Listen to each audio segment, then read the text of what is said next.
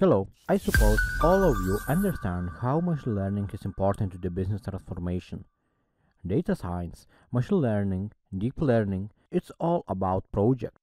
Project it's a concept to transform the intelligence to something valuable for the business. So today I want to talk from the approach of operational style to how we handle machine learning. And the one of primary key you should know how to structuring your project to maximize the benefits in the business in technical aspects. So do not waste our time and let's start. So today we will talk about the structure of data science project. I want to begin this discussion with license because data scientists use software they didn't write and data they don't own pretty much all the time. You have probably heard about the term IP.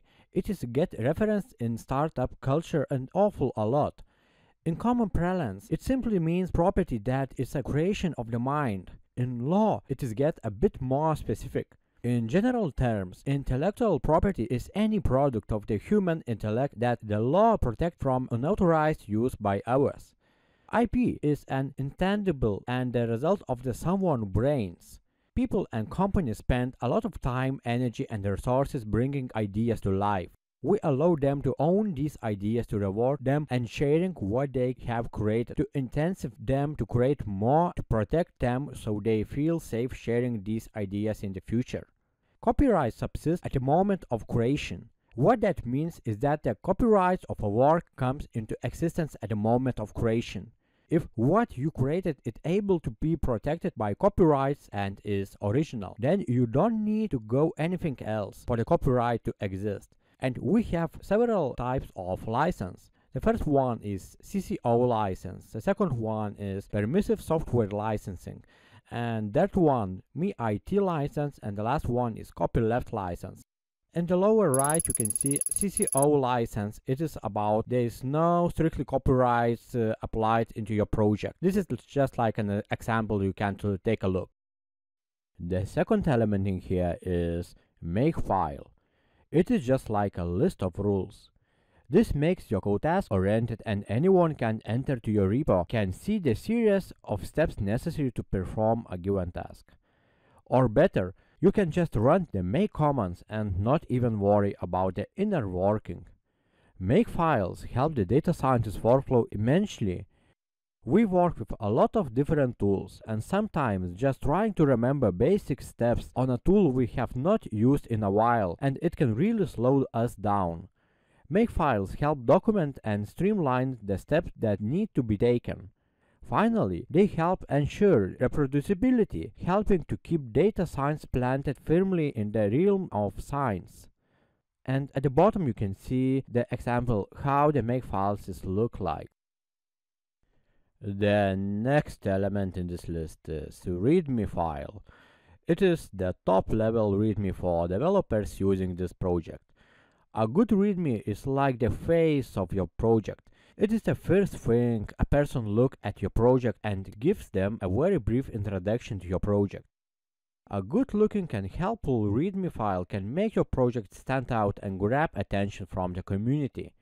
It will help them understand your project, how they can get it working and why they should contribute. And you can find a lot of readme files in GitHub repositories and I totally agree that it's like a face of your project and you should concern to keep good positions of readme file in any development stages.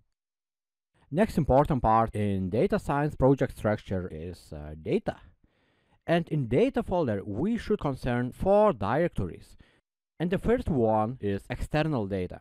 It is the data from third-party sources. Take a look at this schema. Let's say this is our project and this is a project environment in this green circle. All the sources that generate data for outside of this green circle is a third-party sources. We have the first one, second one, third one, and fourth one. And what is outside of this green circle we can define as third-party sources. It is external data. Next important directory in data is raw data. Raw data is the original and immutable data dump. What does it mean? Let's take a look again at the schema. Let's draw a magenta circle outside the green one. And this is the raw data. Why?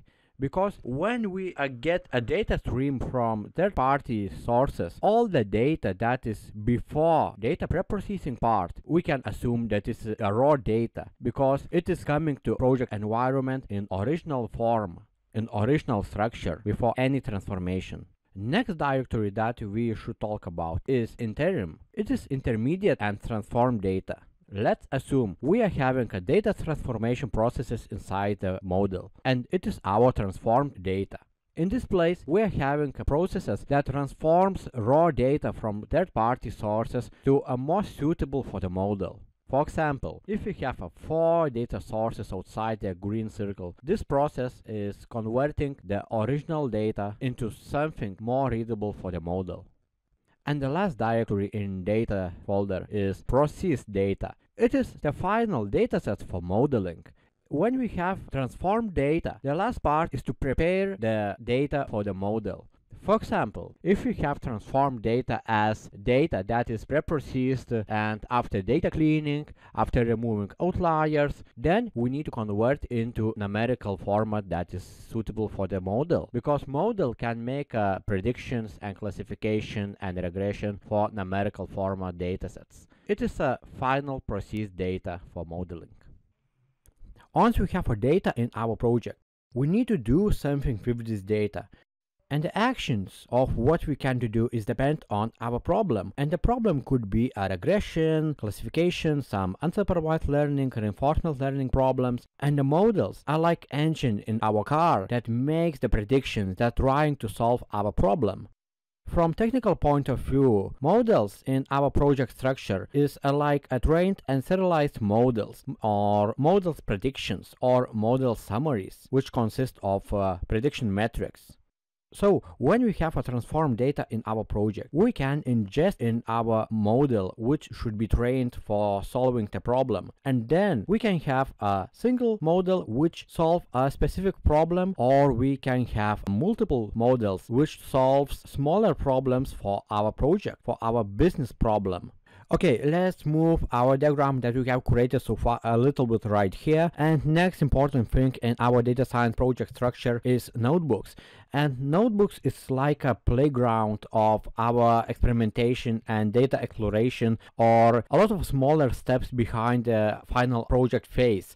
And i think it also should be included into the project structure because uh, notebooks can include not only experimentation but you also can write some comments some ideas what you can do more about improvements about the bugs about the points uh, in your project that are the most important and um, you can put as many notebooks as you want depends on your project complexity, but notebooks always help to read the project from more technical perspective if you want to check why you decided to take some algorithms uh, and what algorithm has been tested behind. So I think it is important part and you should always concern the notebooks included in your project structure as well. Next folder that should be included in your data science project structure is reference. And reference in uh, simple words are like documentation and it's like uh, data dictionaries, manuals and all our explanatory materials. And to make it more simple for you, let's say that all this schema that we have discussed before is our project. It consists of models, raw data, transform data, process data, notebooks, and all things together in one place. Okay, this is our project. And then we need to create something that should be readable for contributors or for end users or for your partner or for your team college. I think that this domain should be included in your data science project structure because if you do not include any material that introduce about your project usage, it should be difficult to project versioning or to transfer your job to another team member so reference is like the bridge between the project itself and the documentation how to use this project. And I think the reference folder should be included to any professional project. And if you want to create this one, you must concern it about as well. So that's it for reference and go next. Next important part in our data science project structure is reports. And reports basically are generated analysis as HTML, PDF, Markdown or different files that explain about your model success and some analysis. And if you have a diagram that we have created so far and focus only on Jupyter Notebook and model part, we always concern about the model metrics because model metrics describes the success that we achieved in solving the specific problem. And on the left side that's come from Jupyter Notebooks, we always need to make some quick analysis that explain about the calculation, about your decision that you have made behind your models. And in order to make your reports more readable and more valuable, you always need to make some figures inside the reports. And that means you can to visualize your important part of analysis. You can visualize some metrics that should be important for improvements. It is like uh, generated figures used in reporting and at the end of reports you should include some summaries some text some useful information together with visualization of analysis and then make some conclusions it's very important for future improvements and for contributing with team members now, let's think, what if you want to reproduce your project in different location, in different server, in different cloud system?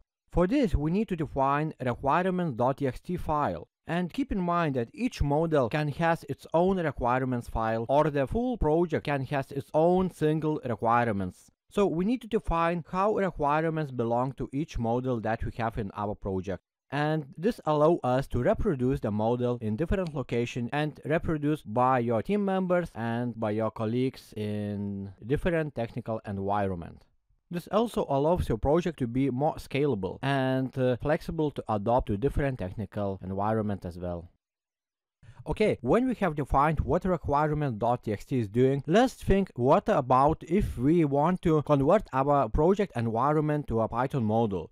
And that uh, setup.py is doing. And setup.py makes the project installable with pip install minus e and dot and this allows us to use a project environment as a model in different location in different conditions. And also it is very suitable if we want to reproduce our project into higher level hierarchy. I mean that we can integrate our project into more higher level structure. And uh, this very useful if we are working only on the part of the very very big project and our smaller project is responsible only the subsets of the full set of projects problems. And this allows us to reproduce our project environment to solve similar problems or if you want to share our project environment to the others. So, setup.py is very beneficial if you want to do it. And if you want to get more familiar with this, I explain all steps what you have to do to convert your environment to Python module. Let's check my YouTube channel and you will see. And finally, we have the final part in our data science project structure, and it is source. The source is represented by three letters, SRC, and this is a source code for use in this project. And in this folder, we usually put init file, and init file is required if you want to convert your project environment to a model. I explained a little bit about it in the previous part in this video and again if you want to check it out check my uh, other videos in my YouTube channel. So on the top of that, we have one, two, three, four folders in our source folder. It is a data. It is a script to download or generate data. It is not the data itself, but there are scripts that downloads the data for your project. Let's say it's makeDataset.py and is generating raw datasets for the model. Remember at the beginning of this video we defined what is the raw data. Second, it is a feature. It is a script to turn raw data into features for modeling. So we have a script uh, that builds features that makes some data transformation for our project. And after this, we need to put models into a special folder. And here's a script for train our model. And in this example, we can have a one script to make a prediction in our model. And the second script is for training. So the best practice shows that we should split the procedures in our project. The one procedure is for training and the second procedure is for predicting.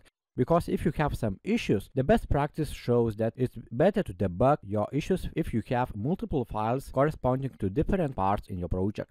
And the last part is visualization. Visualization directly reflects the output and some analysis that you have done behind your project. And uh, as I mentioned before, some visualization can be inserted in your reports, in your documentation, and is very beneficial information for collaborators and for end users. So that's all what I wanted to say today with this video and I will keep doing series for MLOps in my YouTube channel. Please subscribe my YouTube channel right now if you want to get a new fresh content in future and see you on the next video. Bye bye.